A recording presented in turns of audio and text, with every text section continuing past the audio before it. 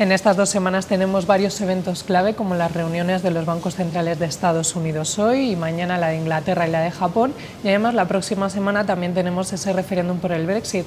Vamos a analizar cómo puede influir todo esto en el mercado y también vamos a analizar algunas compañías que están siendo noticia, sin ir más lejos, Inditex, que hoy ha presentado resultados. Vamos a hablarlo todo ello con Daniel Pingarrón, estratega de mercados de IG. Bienvenido, Daniel. Hola, gracias, ¿qué tal? Muy bien.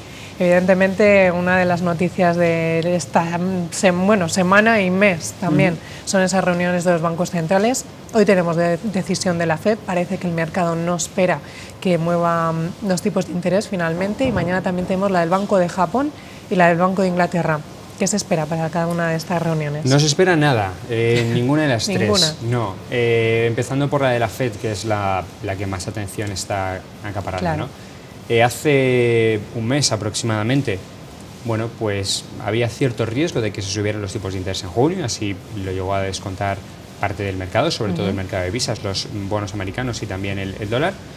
Pero eh, teniendo en cuenta el último dato de empleo del mes de mayo, eh, muy, muy, muy malo, con revisión a la baja de los datos anteriores, y por supuesto con todo este, en fin, alboroto que está formando el, Brexit, a mí me parece imposible que suban los tipos de interés. Em, actualizan el cuadro macro y luego, como siempre, habrá que estar atentos a escuchar a Yellen por si deja alguna pista de cara al futuro pero a mí me parece imposible que suban los tipos de interés hoy y me parece muy muy difícil que lo suban en julio. Yo creo que ahora mismo la primera fecha posible sería el mes de septiembre, la primera fecha realista. Antes de las elecciones, justo. Sí, eh, primera fecha realista, lo cual no quiere decir que se van a subir ahí seguro, pero primera fecha realista, desde luego que teniendo en cuenta eh, junio, julio y septiembre, a mí me parece que septiembre es el mes que, que de estas tres fechas por lo menos cuenta con más posibilidades. Em, eh, del Banco de Inglaterra, bueno, pues a lo mejor lo más interesante podría ser que hicieran alguna declaración en torno al Brexit también. Ya el Banco de Inglaterra se mojó bastante, se mojó bastante y fue muy criticado. Mm, el mensaje que lanza el Banco de Inglaterra es que el Brexit va a ser malo para la economía británica. claro, del peligro. Hoy mismo el, ministro del Tesoro, Osborne, ha dicho algo parecido. Incluso ha ido más allá y ha dicho que ellos tienen un plan de contingencia consistente en subidas de impuestos y en recortes presupuestarios en el caso de que sea el Brexit, que es tanto como decir, si votáis el Brexit, ojo, efectivamente. ¿no? Y luego con el Banco de Japón, bueno, pues eh, tampoco esperaría nada. Eh, el último movimiento que tuvimos en Japón importante fue ese retraso en la subida del IVA y de otros impuestos. Más allá de eso, el Banco de Japón lleva muchos meses manteniéndose a la espera y por supuesto que esta vez creo que va a hacer lo mismo.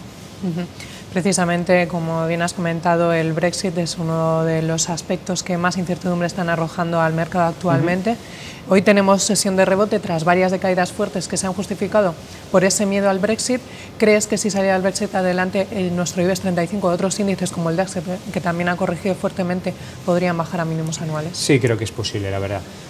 Eh, el Brexit, eh, lo que hemos tenido es que en, los últimos, eh, en las últimas cuatro sesiones, desde el jueves pasado, nos han restado en Europa cerca de un 6%, una corrección muy importante que principalmente se ha debido a un cambio en el signo de las encuestas.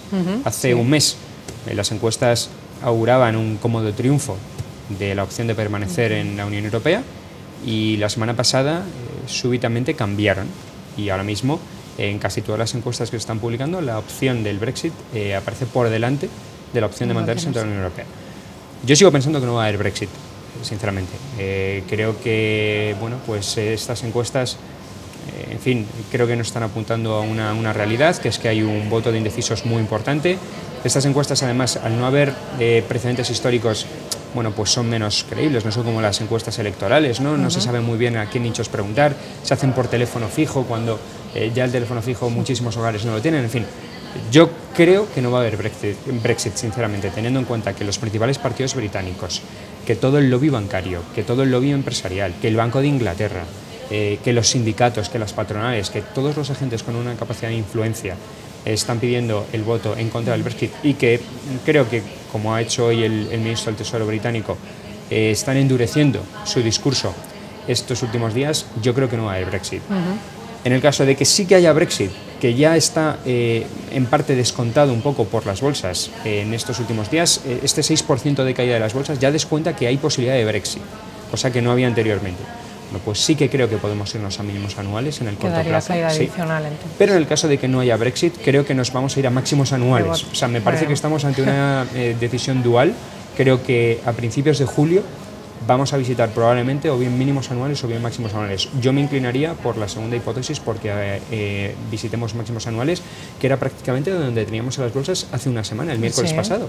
El miércoles pasado ahí, teníamos al DAX 9.000. casi en los 10.400 puntos. Teníamos a la bolsa de Nueva York, al SP500, en máximos anuales, por encima de los 2.100. Es decir, la capacidad de las bolsas para tocar máximos anuales hace eh, cinco días, cinco sesiones, era muy evidente. Ahora han empeorado las cosas, pero creo que si no se confirma el Brexit, eh, vamos a volver a hacer un ejercicio para buscar esos máximos. Esperemos que volvamos a rebotar fuertemente. Por cierto, eh, este miedo que se ha inoculado en los inversores les ha llevado a buscar refugio en el bono alemán Sí. hasta llegar a rentabilidades negativas por primera vez en la historia. Sí. Una situación sin duda surrealista que puede durar mucho. A ver, em, primero, lo que hemos visto es una, eh, el, típico, el típico esquema de momento de pánico en los mercados, Claro. eh, fase de aversión al riesgo, risk off, sale dinero de las bolsas y se van a los valores refugio, al oro, que ha subido mucho, a los bonos de máxima calidad, como los alemanes, los japoneses también yen están en también. rentabilidad mínima histórica, al yen, al dólar americano, un esquema que hemos visto en muchísimas ocasiones. Si eh, no se produce el Brexit, creo que este esquema se va a revertir. Creo que eh, los valores refugio van a caer y va a volver el dinero a las bolsas. En el caso concreto de los bonos alemanes, se juntan dos cosas. Primero, efectivamente, esa mm, búsqueda de valor refugio y, en segundo lugar, las eh, compras del Banco Central Europeo Ya. que es una justificación más, mm, más sostenida y fundamental. Eh, los bonos alemanes, digamos que están en una oferta decreciente. Alemania está combatiendo el déficit y cada vez emite menos deuda.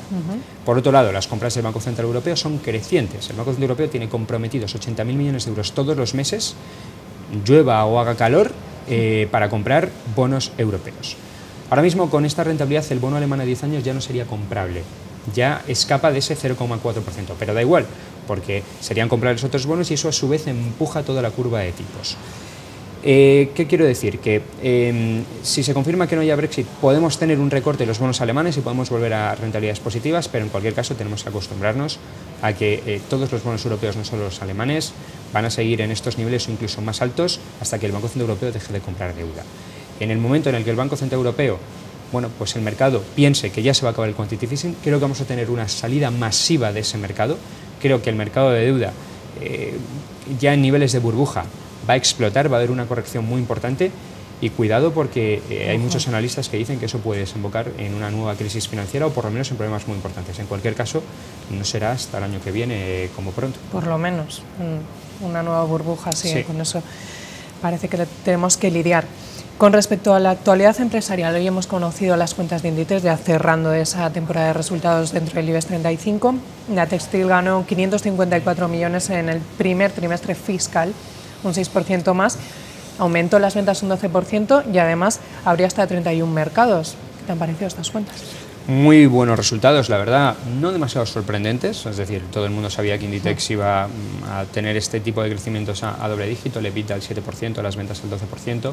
Eh, también lo que decimos siempre, la acción de Inditex se está tomando muy bien estos resultados, es uno de los motivos por los cuales el IBEX 35 se sitúa a las cabezas hoy, con subidas muy importantes en Inditex, un valor muy pesado, Claro. pero de nuevo, eh, Inditex ha tenido la suerte de presentar en estos resultados hoy, un día que las bolsas están rebotando. rebotando. Si los hubiese presentado ayer, donde el IBEX cayó el 2%, seguro que no estaríamos con estas subidas. ¿no? En cualquier caso, los resultados son, son muy positivos, esperados, y yo creo que en el momento en el que Inditex consiga romper eh, por la parte de arriba eso- ese soporte donde hay una especie de, esa resistencia, perdón, donde hay Resistencia. una especie de, de triple techo en el entorno de los 30 euros con 40 aproximadamente, el recorrido a los 35 podía ser, podía ser rápido. Creo que si no hay Brexit, Inditex puede coronar los 35 euros este verano. ¿Sí? Sí. Vamos a ver hasta dónde llega la textil entonces.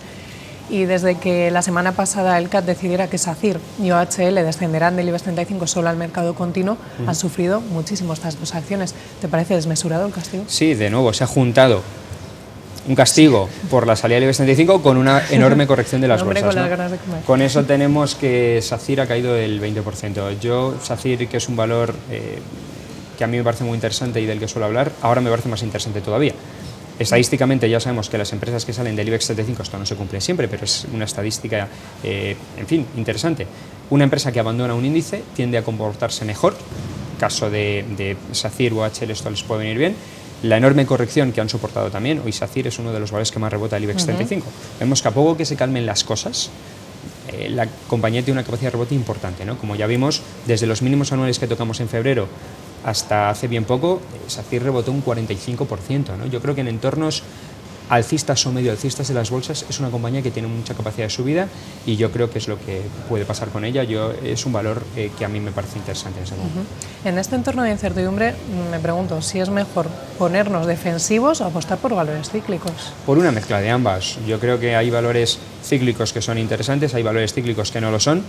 Eh, hay valores defensivos que son interesantes y otros que no lo son. Por ejemplo, de cada uno. Pues vamos a ver, yo creo que podríamos construir una cartera de cara a los próximos meses, combinando valores cíclicos, SACIR, ArcelorMittal, eh, introduciendo valores defensivos, caso de, por ejemplo, DIA, caso de Eurofoods.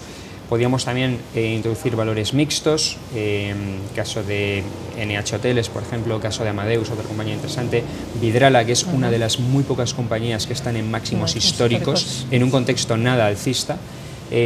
Mediaset, dentro de los cíclicos, también me parece interesante. En fin, eh, siempre hay que tener cierta compensación, no estar 100% en cíclicos ni en ultracíclicos como Saciro o Arcelor.